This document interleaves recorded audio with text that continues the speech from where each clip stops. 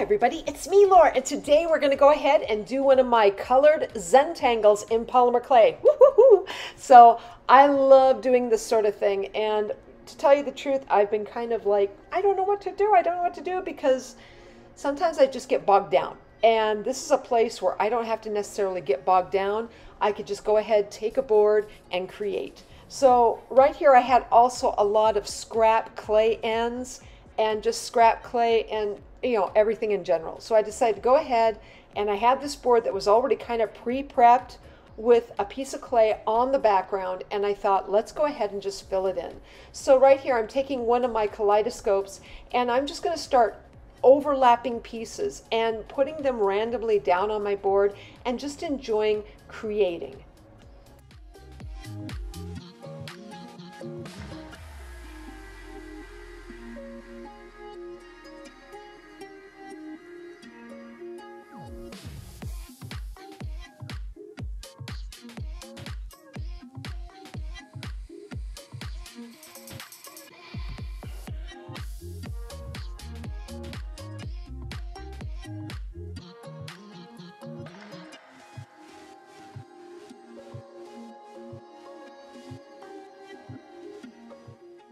Okay, so here when I was putting down that kaleidoscoping and just kind of figuring out, okay, where it's all going to be placed, I knew I was going to have to put in some solid colors. So I decided that, you know, I had my blue, my red, my black, and my purple there off to my right side.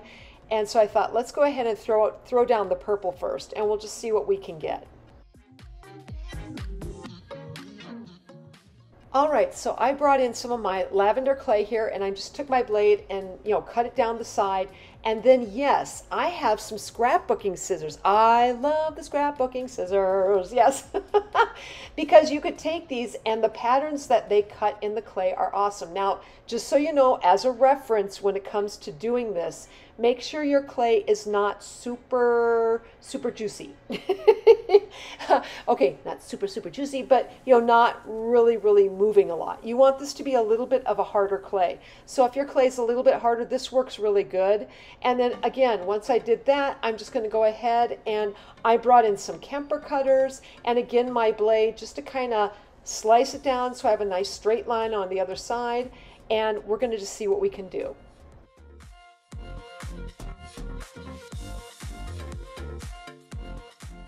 All right, so I took some of my scrap clay here and I it was really mud and I added a little bit of black to it, but I wanted one solid strip, just one solid strip of color, you know, just as long as it was kind of neutral. And that's what this really was. And I'm going to go ahead and lay down eventually that purple clay on top of it.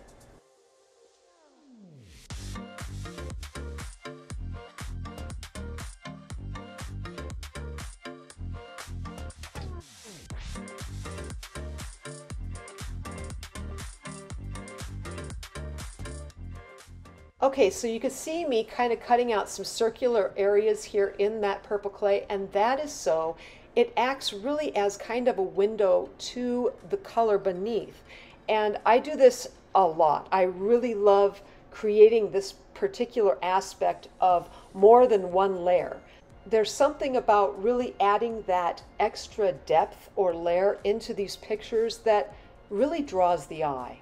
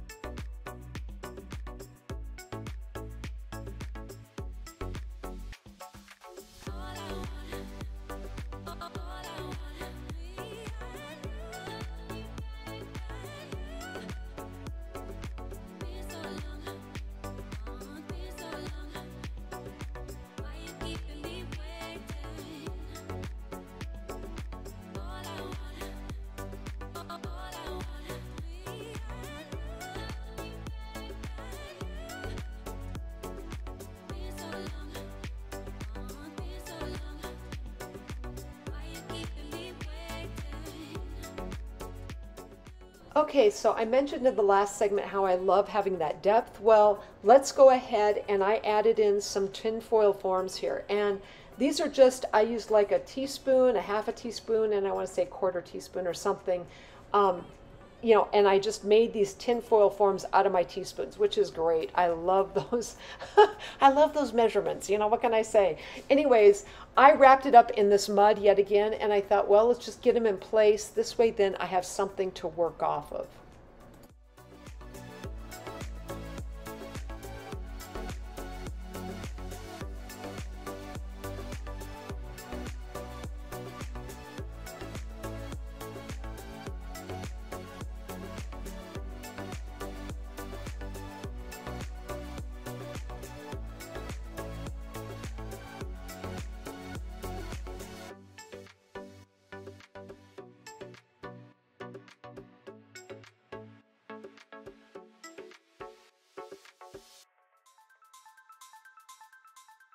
All right, so right here I brought in some more of that mud eventually, and when I did, I also thought, let's go ahead and add in kind of some Natasha feel to this picture. So I went ahead and I decided to create some like heart-shaped forms, and I just loved the design that came out from them, and it turned out really great.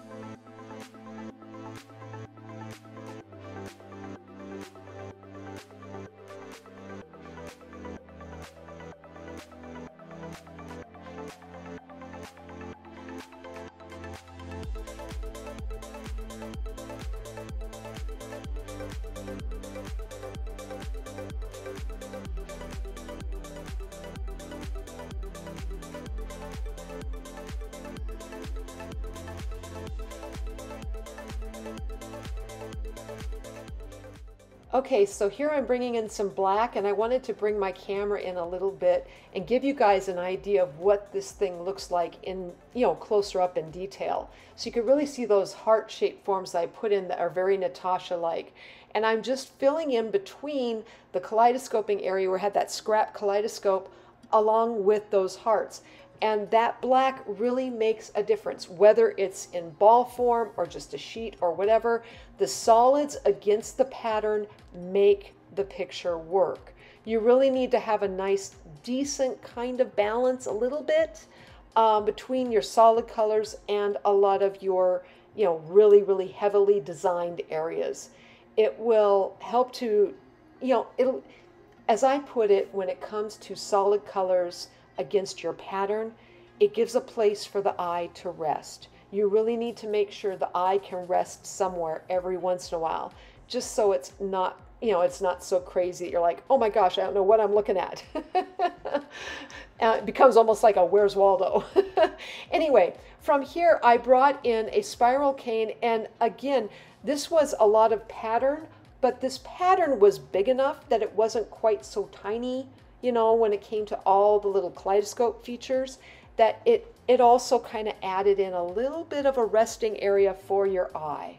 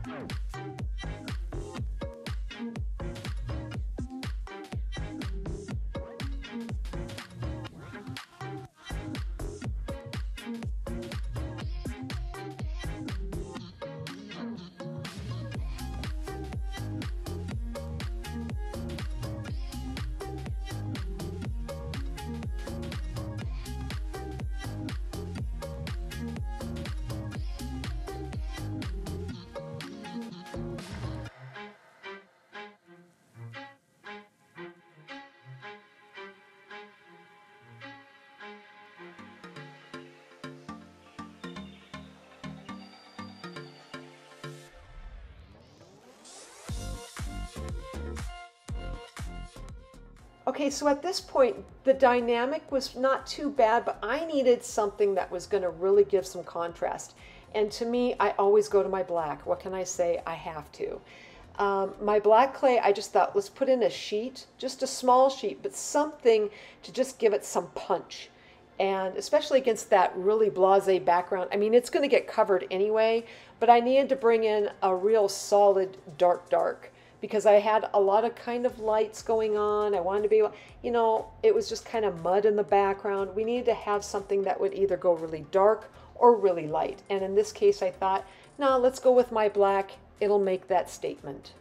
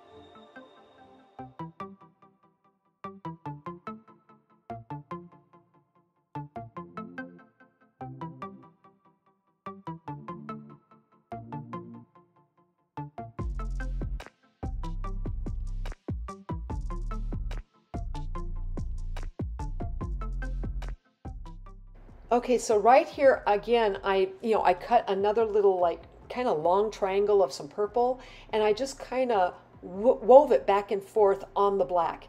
This gives a really nice dynamic and another whole feature to the picture that just wasn't there before.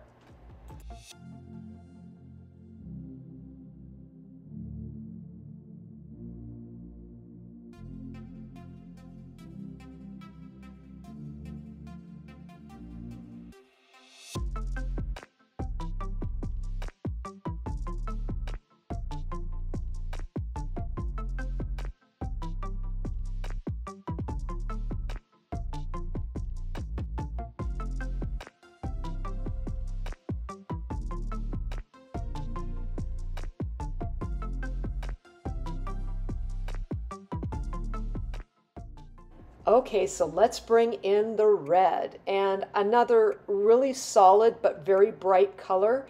And I thought, you know, I've got such a blase background here with this kaleidoscoping and some of this, you know, uh, you know, scrap type Natasha's going on. So I thought, let's fill in with some really interesting eye popping red. And it really made a difference in this picture, especially as I went along and I was like, oh, yeah, I like this. Let's go ahead and put some more in.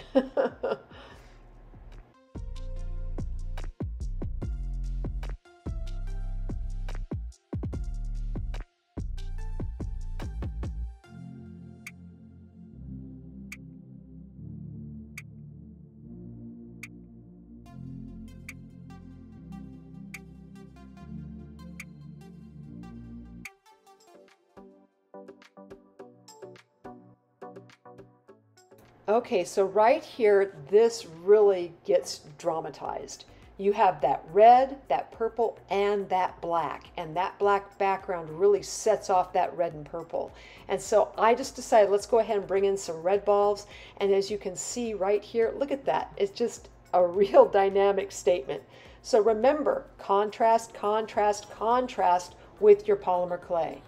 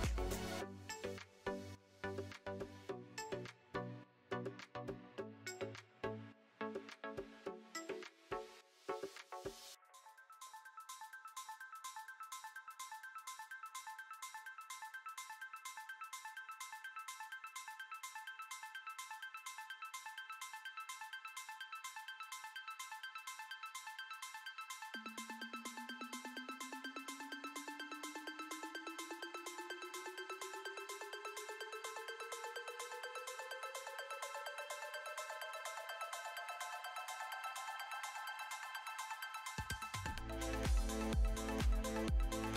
back.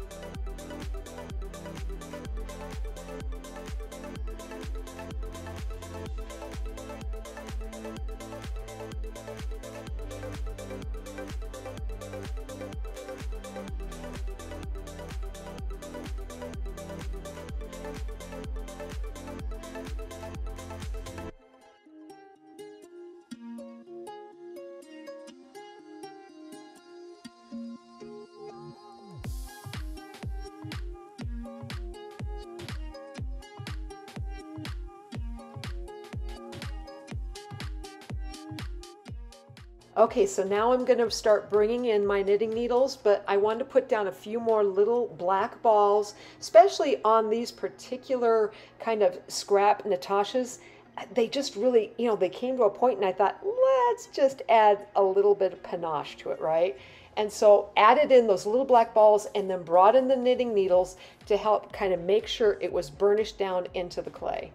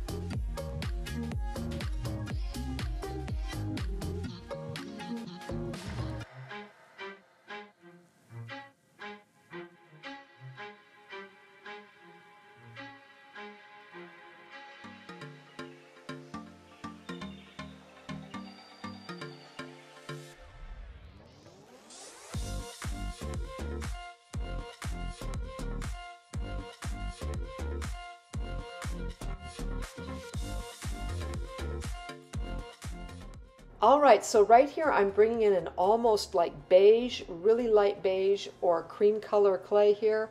I wanted to add in a little more detail to that purple strip right, you know, running down the center area here. And again, contrast, contrast, contrast, because that purple's pretty dark, and even the color behind it, pretty dark. I mean, you only have the red really popping out, so I thought, I need another color here, something that's gonna really be light and bright, yet really draw attention. And this is where that cream beigeish-like color comes into play.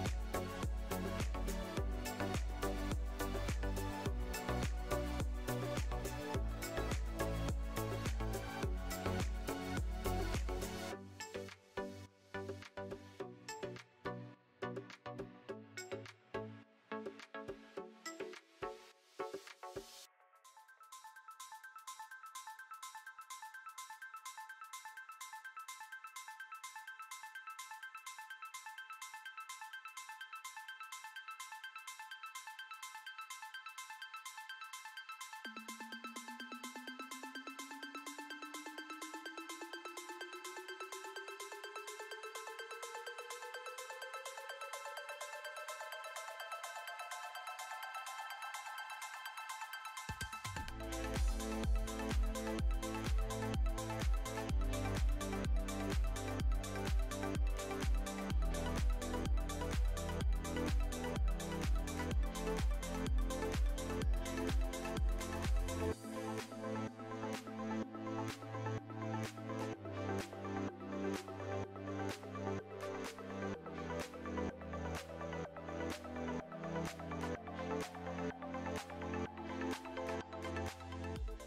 Okay, so up until now, I've really ignored those tinfoil forms, and I thought, okay, I had covered them over with some mud, and I thought, no, no, no, we need a color.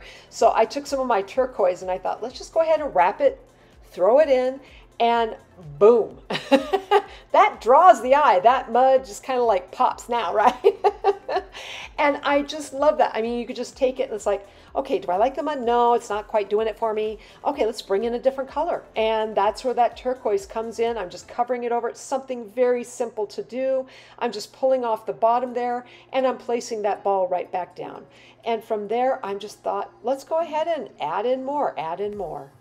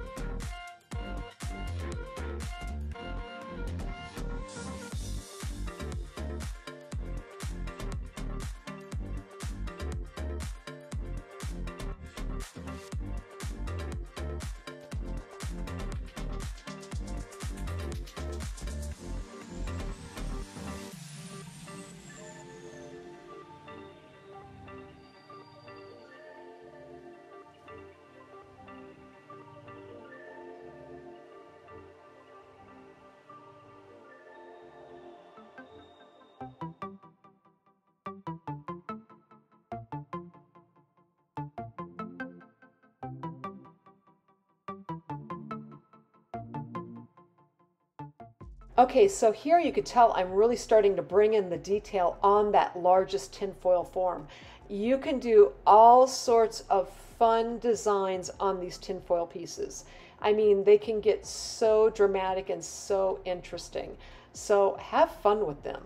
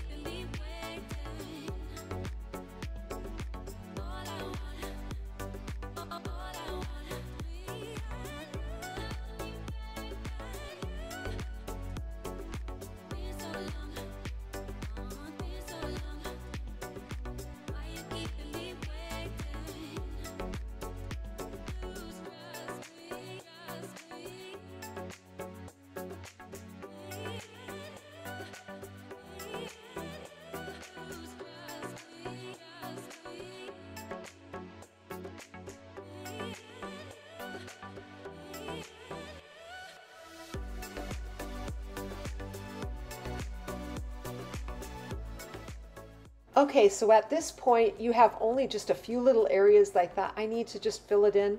And so that's what I'm going to be doing here. I'm just going to be filling in a little bit more and adding in more of that detail.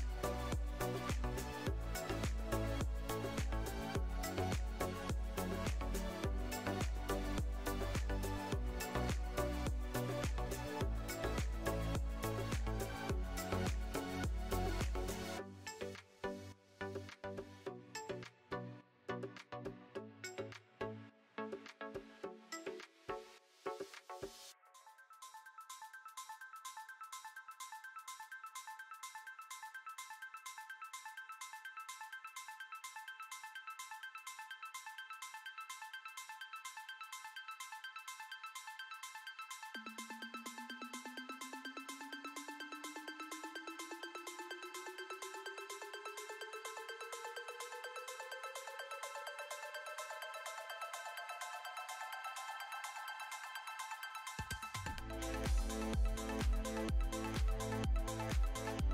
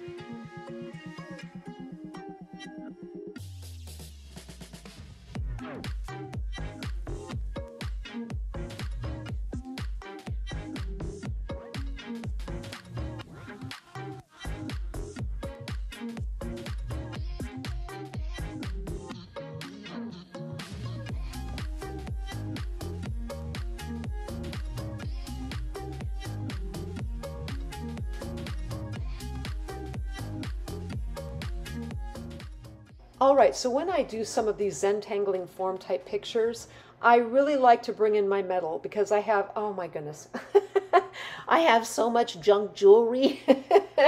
Either just because I like the piece in the store and I just want to, you know, buy it up at my thrift store or whatever, I figure it might come in really handy and it really does in these types of pictures. So the frame exactly, you know, the frame was gold. Okay, I had a gold frame like thing going around. So I thought, okay, I need to bring out my gold like jewelry kind of a thing, my gold metal, and let's just add it in. I really love to add in chain. I really like to add in kind of like circular pieces. I had this heart piece, which actually was a, a pin at one time. I thought, take off the back, throw it on there, and just see what it'll do for me. And you know, the nice thing about these chains, I'm, you know, I'm kind of adhering it down with that nice black ball right there that I did with the big longer piece. Well, I'm going to do the same over here. You know, you can always add in, I, I left it plain, right? Okay, but you can add in a jump ring and maybe a doodad. You know, you can do that with some of this metal jewelry. So think about that as you're putting it together.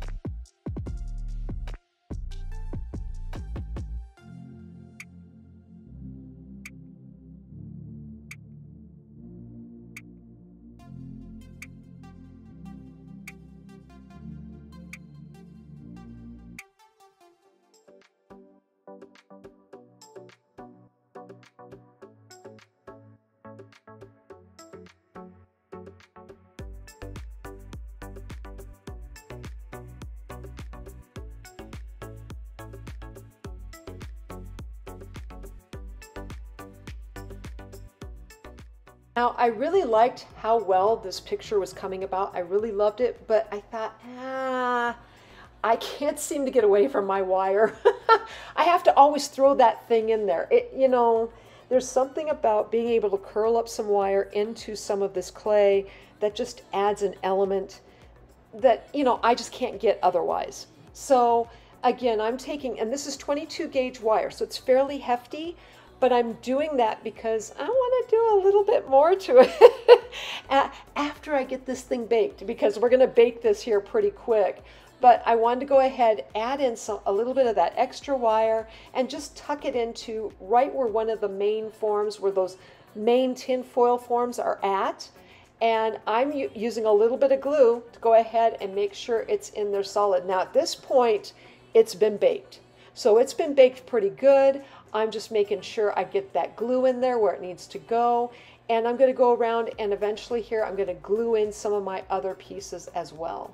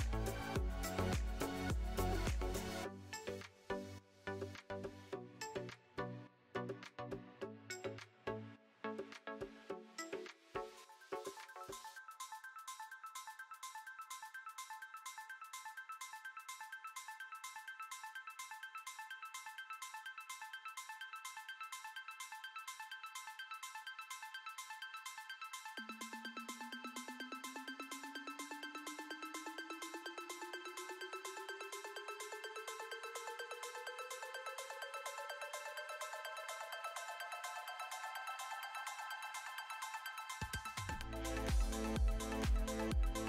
back.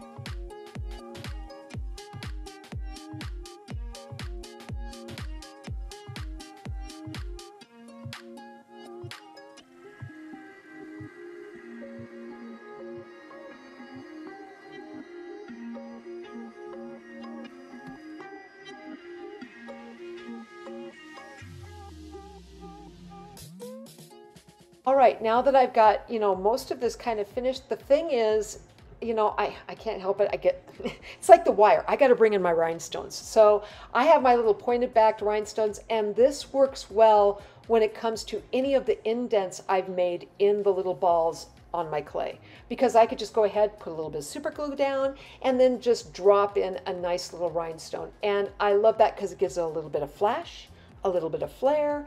And, you know, I can random, I, if I wanted to, I could fill in every little indent or where I made that little indent in the clay all over this picture. But I figured, no, that takes too much time. I'm just going to highlight it in certain areas and just enjoy that.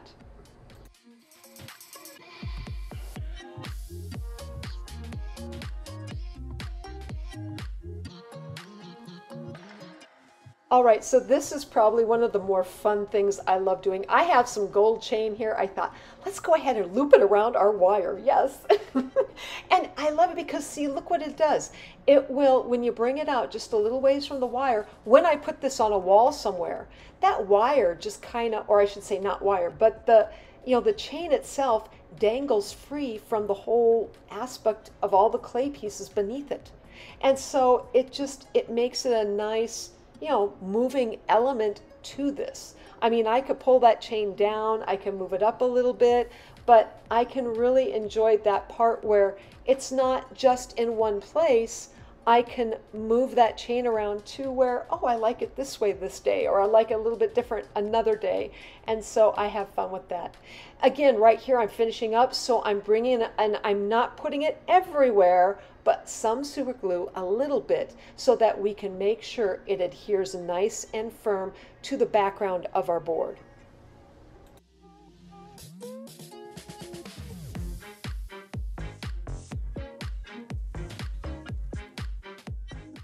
Okay, so here is the end result of creating my Zentangle and scrap clay number one.